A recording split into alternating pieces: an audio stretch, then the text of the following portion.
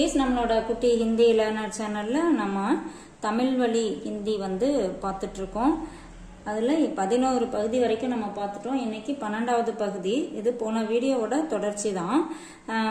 இப்போ வந்து இதுல கொஸ்டின் ஆன்சர் மாதிரி நம்ம பார்க்கலாம்.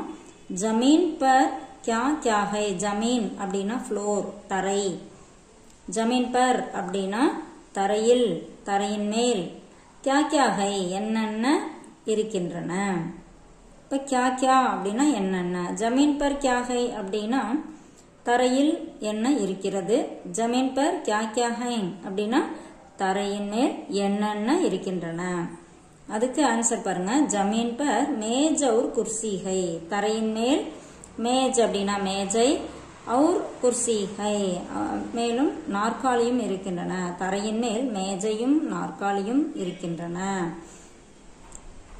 மேஜ் பர் क्या क्या है மேஜையின் மேல் என்னென்ன உள்ளன மேஜ் பர் கலம் और காகஜ் है மேஜையின் மேல் பேனாவும் காகிதமும் இருக்கின்றன காகஜ் அப்படின்னா காகிதம் பேப்பர் கலம்னா பேனா மேஜ் பர் கலம் और காகஜ் है மேஜையின் மேல் பேனாவும் காகிதமும் இருக்கின்றன மேஜ் பர் இன்னொரு ஆன்சர் கொடுத்திருக்காங்க மேஜ் பர் घड़ी किताब कागज और कलम है மேஜை மேல் கடிகாரம் கிதாப் கிதாப் அப்படின்னா புத்தகம் காகஜ் காகஜ்னா பேப்பர் அவுர் கலம் பேனாவும் உள்ளன மேஜையின் மேல் கடிகாரமும் புத்தகமும் காகிதமும் பேனாவும் உள்ளன அடுத்தது हाथ में கலம் காகஜ் और किताब है ஹாத் அப்படின்னா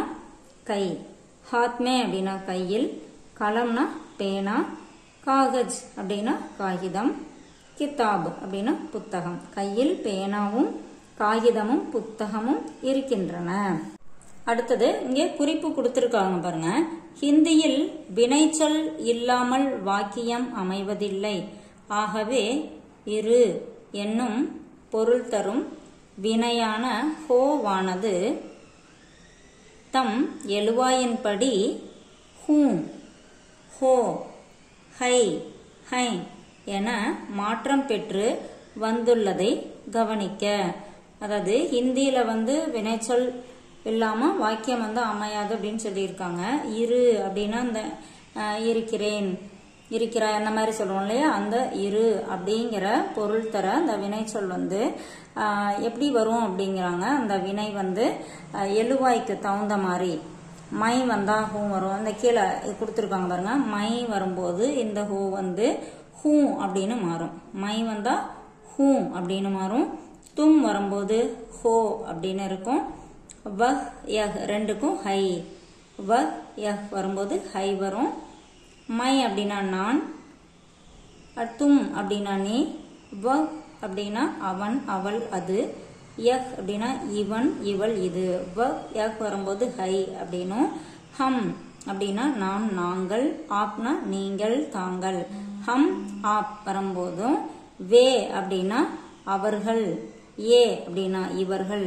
இந்த நாலுமே பார்த்தீங்கன்னா ஆகிய நான்கு எழுவாய்களும் பன்மையாக இருப்பதால் இது எல்லாமே ப்ளூரலாக இருக்கிறதுனால இந்த ஹைக்கு மேலே ஒரு சின்ன டாட் வச்சுருக்கோம். ஹை அப்படின்னும் வரும் அப்படிங்கிறாங்க.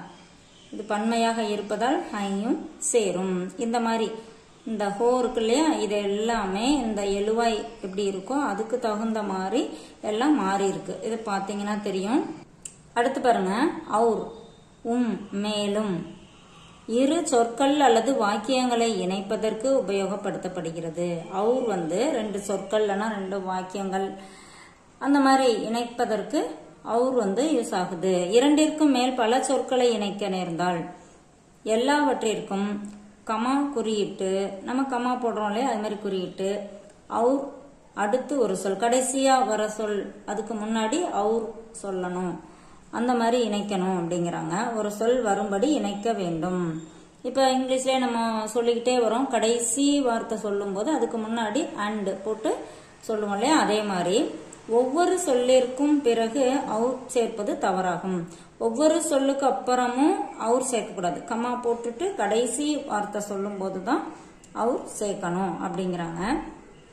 ஹிந்தியில் வாக்கியம் முடிவுற்றதும் முற்றுப்புள்ளிக்கு பதில் இந்த மாதிரி கோடு போடுறாங்க. இடப்பட வேண்டியது அவசியமாகும். மற்ற குறிகள் தமிழ் அல்லது ஆங்கிலத்தில் இருப்பவை போன்றதேயாகும் கவனிக்க புள்ளிகள் பற்றி கவனக்குறைவாக இருக்கலாகாது. எண் பால் பற்றிய தவறுகளுக்கு அதுவும் காரணமாக உள்ளது.